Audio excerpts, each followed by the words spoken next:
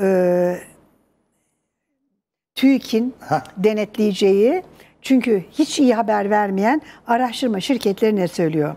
MAK, Mehmet Ali Kulat'ın bir zamanlar o da e, saraya Erdoğan'a çok araştırma yapmıştır. Sadece AKP'yi söyleyeceğim ve AKP ve MHP yani Cumhur İttifakı'nı söyleyeceğim. MAK diyor ki AKP %33.9, e, MHP 7.7. Metropol 30'un biraz altına inmiş. AKP için 29.3 diyor. MHP için o da yaklaşık 7'lerde kalmış 7.3 diyor. Avrasya 28.3 diyor AKP için yüzde bunlar hep. MHP için de 7.1 diyor. ORC şimdi bu çok önemli. ORC çünkü Orada da iktidara yakın, yakın bir kanal. ORC AKP için 32.1, MHP için 9.7 diyor.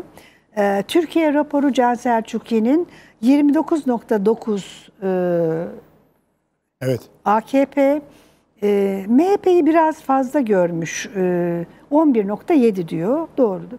Yöneylem araştırmada AKP %31,5, MHP 8.2 diyor. Şimdi bir iki böyle e, ayrı düşen hani MHP'de Can Selçuklu'nun vardığı e, oran dışında 5 aşağı 5 yukarı. Hani zaten e, anketlerde öyledir ya eksi artı 2 yanlışlık payı var Tabii derler. artı eksi 2'dir doğru. E, öyle bakar bırakırsak 30-31 bandında. Evet aynen doğru söylüyorsunuz. Siz şimdi ORC de söylediği için Evet. hani tek, açıkça sormak istiyorum.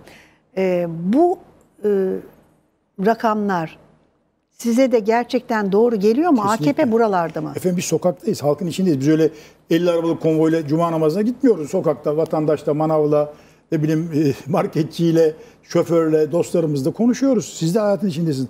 Halkın burasında, toplum bir buhranda. Ben Türk toplumunu bir düdüklü tencerede kapatılmış, baskı altına alınmış her yönüyle bir toplum. O bunalım bir yerlerden taşıyor. Nasıl taşıyor? İntarlarla, aile içi şiddetle, soygunlarla, korkunç. bunlarla çıkıyor. İşte bakın iktidara yakın Kendi ORC var. bunu söylüyorsa Ben de bakın bir tablo daha var. Sizin dediklerinizi doğrulayan bir tablo yani Ayşen Hanım. 2023 seçim anketleri Ağustos ayı ortalaması. Nereden buluyorum bunu? Wikipedia bunu yayınlıyor. 2023 seçim anketlerini her ay topluyor. Ortalamasını yayınlıyor. Ortalaması sizin dediklerinizi doğruluyor. Bakın şöyle göstereyim. Buradan gözükür bilmiyorum ama e, şöyle dokunmaya ben bakabilirseniz. vereyim. Ee, 2023'te seçim Ağustos olduğunda kime ne oy verirsiniz diyorsunuz. Bu Ağustos'ta yapılan anket ama.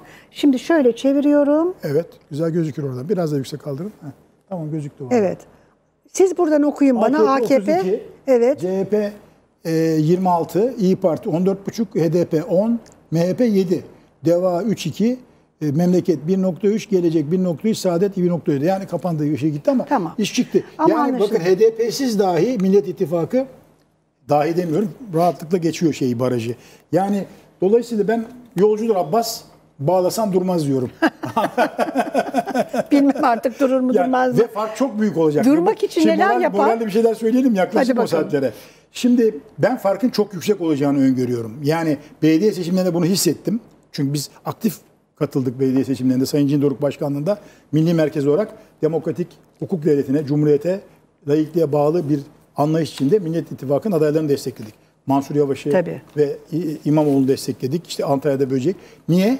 Doğru yaptığımızda bunların bugün icraatlarından görüyoruz. Harika. Mansur Yavaş'ı biz Ankara'da yaşıyorum ben. Alkışlıyorum. Çukurlar dolduruluyor.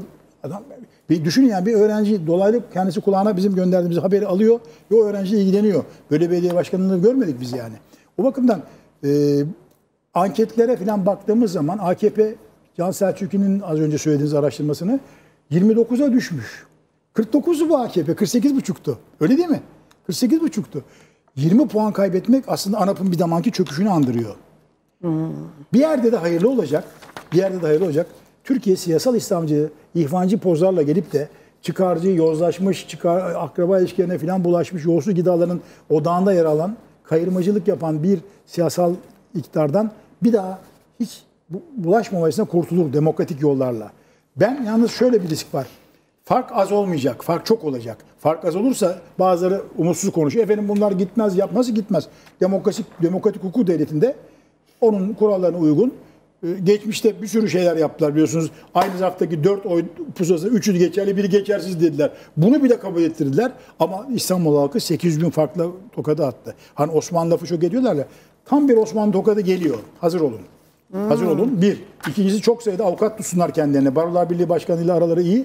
Sevdiğim bir insandı ama o, o herhalde avukatlık hizmetleri konusunda hukuk içinde çok işleri düşecek onların.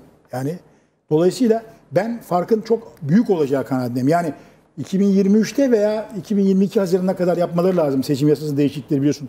Bir sene öncesinden yapılamıyor. 2022 Haziran'a kadar yapılacak bir erken seçimde veya zamanında yapılacak seçimde bugünkü koşullar olursa yani veri koşulları altında ağır bir hezimet bekliyor AKP. Öyle yani 49.5'a 50 değil yani. Bu çok fark olacak. Ben 5 puan falan fark bekliyorum minimum yani. Minimum. Efendim bunları sen wishful thinking yani kendi niyetin temennin. Tabii ki temennim ama yaşadıklarımdan e, ben e, iktidarda milletvekili yaptım, bakanlık yaptım, muhalefette parti yöneticiliği yaptım. Yazıyorum, çiziyorum, ekonomi politik yıllardır izliyoruz yani. E, belediye seçimleri yanılmadık mesela. Şimdi ben yanılacağımızı düşünmüyorum. Umarım yanılmam. Büyük bir fark geliyor yani. Büyük fark geliyor. Şimdi AKP, e, Geliyor daha doğrusu yani. Erdoğan, e, hani ekonomide her şeyin yolunda gittiğini söylerken enflasyonun ve faizin yüzde yirmilerde olması zaten Böyle bir ülke yok. bütün o söylemleri Arjantin siliyor yok. gidiyor. Tabii. Şimdi bakın bir görüntü gelecek ekrana. Ee, az önce söyledik ya Rize'de kendi memleketinde Erdoğan'ın çay üreticilerin canını okundu, tütün üreticilerin canını okundu. Ya da işte o kaçak e, tütün hikayesinde Tabii, tabii, tabii. neler yaşandı vesaire. Tarım bitti. Çok tarım bitti vesaire. Çok ağır, vahim şeyler yaşanıyor. Gençlere hani ileniyor. Gözünüze dizinize dursun vesaire diye. Dahası şimdi efendim bir Umut Sen diye bir sendikanın işçileri e, bir makarna fabrikasında e, yanı sıra peynir de e, üretiliyor herhalde. Grev var. Greve bakın greve e, polis müdahale ediyor. Hani Emin Çapa boşuna demiyor. Türkiye'nin bugüne kadar gelmiş geçmiş en zengin dostu iktidarı AKP'dir diye. Gerçekten de Erdoğan değil miydi? Grev yaptırmıyoruz, işte yasaklıyoruz. Daha ne istiyorsunuz bizden diye iş adamlarına seslenen. Tam da öyle. Bakın greve müdahale geliyor. Buyurun.